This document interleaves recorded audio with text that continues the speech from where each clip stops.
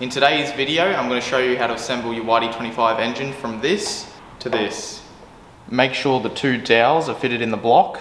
Turn the crank so that the crank woodruff keys are pointing at 3 o'clock. Install the head gasket. Install the head.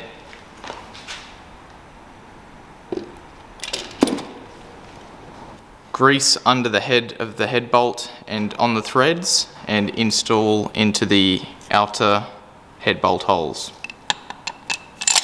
Remove the cam caps. Start from the outside and work your way in and make sure you undo it so that the cams come out evenly. If you undo one side too much and then they bend, you'll snap the cams.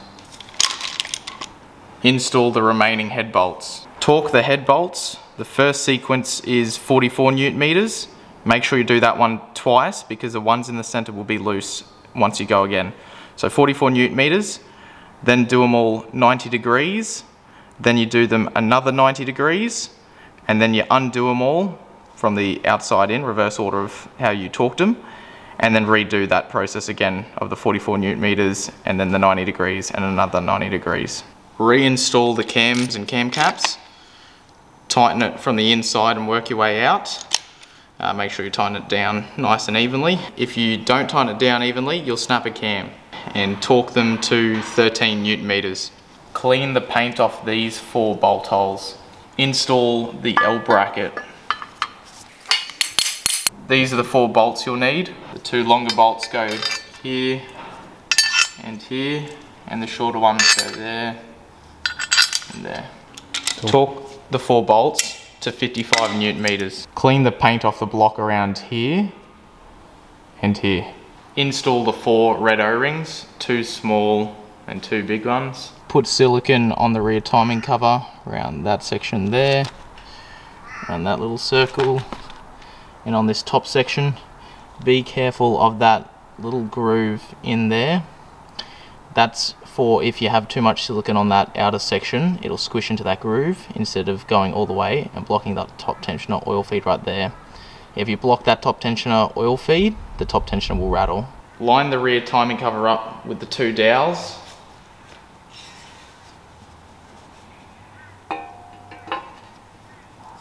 Then tap it on with a copper hammer. Keep an eye on where those O-rings are because they can pop off while you're tapping it on. These are the bolts you'll need for the rear timing cover. So we've got three long ones, two of these ones, seven of these medium length ones, and 10 of these small ones. Install the three long ones in these holes. Install these two bolts in these holes. Install the small bolts, two in the top here, six in all of these holes, and two in the bottom corners here and here on the outside of the rear timing cover. Use this yeah. length bolt for the remaining holes there, there, there, there, there, and the two here. Torque the rear timing cover bolts to 13 newton meters. Before you install the vacuum pump, make sure you watch our vacuum pump rebuild video. The vacuum pump bearing can occasionally go bad. Install the red O-ring on the vacuum pump. Install the vacuum pump using these three bolts. Torque the vacuum pump bolts to 17 newton meters. Install the fuel pump O-ring. Grease the O-ring and grease the inside the L bracket where the fuel pump goes. Install the fuel pump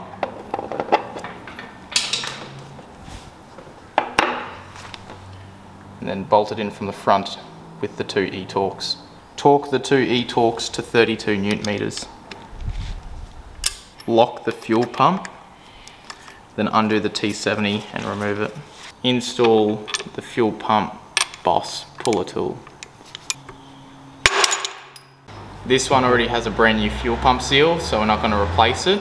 But if you are going to replace it, you could use a big spanner like this and get under it to get the old one out and then you can use the seal tool pay attention to the way the seal is on there so that you get it on the right way and then you tap it in with a copper hammer to put in the new one and you make sure you put grease on the inside of it Put some grease on the fuel pump thread. Install the fuel pump boss. Reinstall fuel pump lock and pin. Put a little bit of silicone around the fuel pump nut. Install the fuel pump nut. Torque it to 90 newton meters. Install the cam sprockets. Put grease on the thread of the bolt and under the head of the bolt and line up the cam sprocket with the dowel on the camshaft. To tighten up the cam bolts, you need a big shifting spanner with good flats, and you need to get the flat of the cam lobe to rest against the flat of the shifting spanner, and then you tighten up the cam bolt to 144 newton meters. Turn the cam sprocket so that the dots on the sprockets line up with the dots on the rear timing cover at 10 o'clock and 2 o'clock. Install the vacuum pump sprocket the black flat washer, the spring washer, put some Loctite on the threads and the nut and tighten it up to 55 newton meters.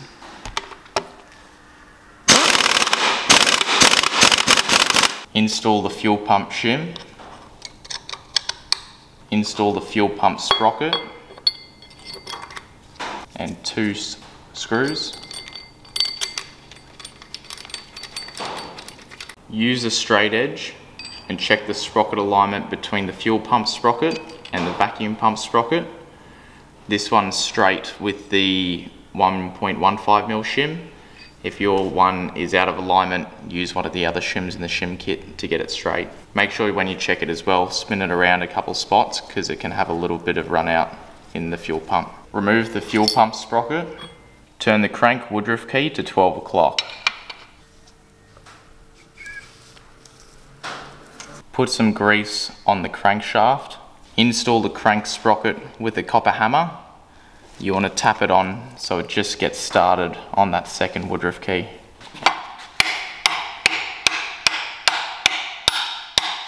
Once you get to this point, you'll need a piece of pipe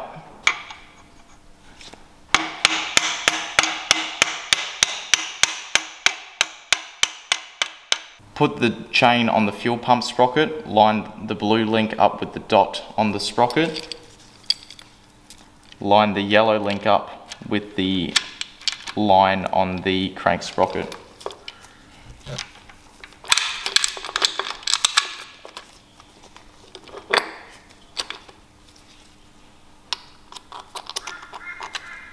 Hold the chain up from that bolt here Then tap the crank sprocket on with the copper hammer.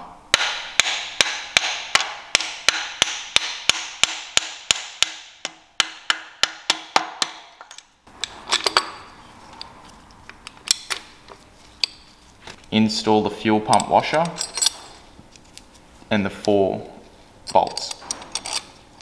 Make sure the fuel pump locking pin is in properly, then torque up the bolts to 40 newton meters. Bottom guide, it has a two-piece bolt. Bush section comes in from the back. And you slip it in.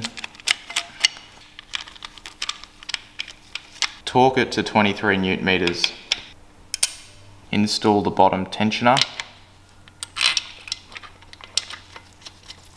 Torque the bolts to 10 newton meters. Install the guides.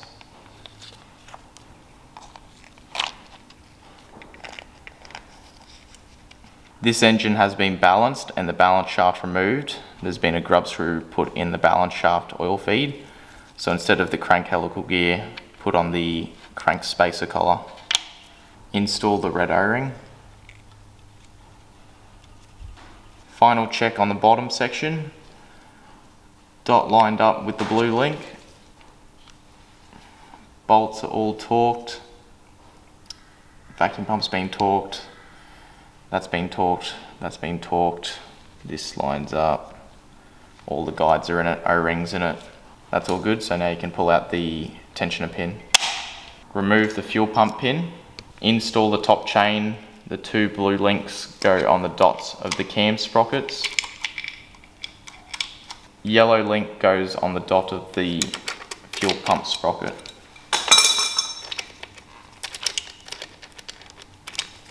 install the top guide. That's a top guide bolt. Install the steel backed guide using these two bolts. Install top tensioner failsafe. Pull the pin out of the tensioner. Pull the plunger out. Put the failsafe in, tapered side down. Then put the plunger back into the tensioner. Install the top tensioner. Put the top screw in first, a couple threads. Then twist the tensioner around to get in the bottom screw. Torque the bolts to 10 newton meters. Tighten up the guide bolts to 23 newton meters. Final check on the top, chain links match with the sprockets. Guide bolts are torqued. Tensioner bolts torqued. So that's all good. For the oil pump, you'll need two of these long bolts, one of these medium length bolts, and eight of these small bolts. Apply silicon to the oil pump around the outside of it, like there, and the two circles there and there. Install the oil pump.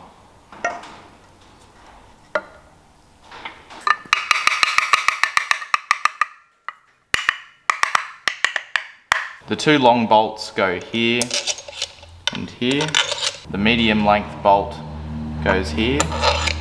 The small bolt goes into all the remaining holes.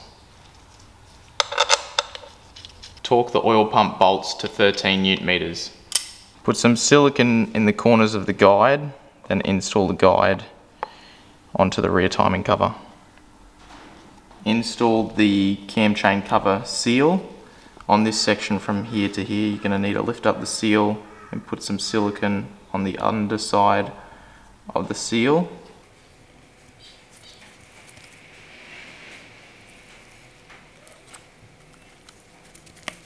And then put silicon on the corners there and there. Install the cam chain cover Tighten up the bolts from the center and work your way out and tighten them up to 8 newton meters. Install the black O-ring on the oil pump. For the sump you'll need 8 long bolts, 7 shorter ones and 2 small 10 mil bolts. Before you install the sump, remove the Welsh plugs so you can thoroughly clean the oil galleries. Apply silicon to the sump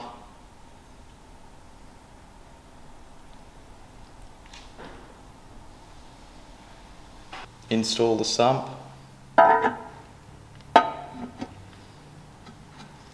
Install the Welsh plugs. This is the glue we use. You've got to put some inside of the hole and some on the Welsh plug. And then you tap it in nice and evenly. Install the oil pump lip seal using a nylon hammer.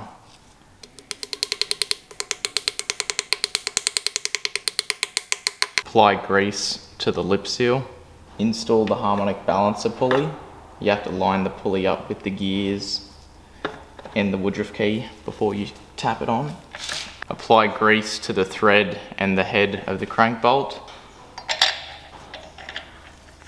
To tighten up the crank bolt, you'll need uh, something to lock up the crank. We got a harmonic balancer locking bar and then you need to torque the bolts to 75 newton meters and then an extra 120 degrees.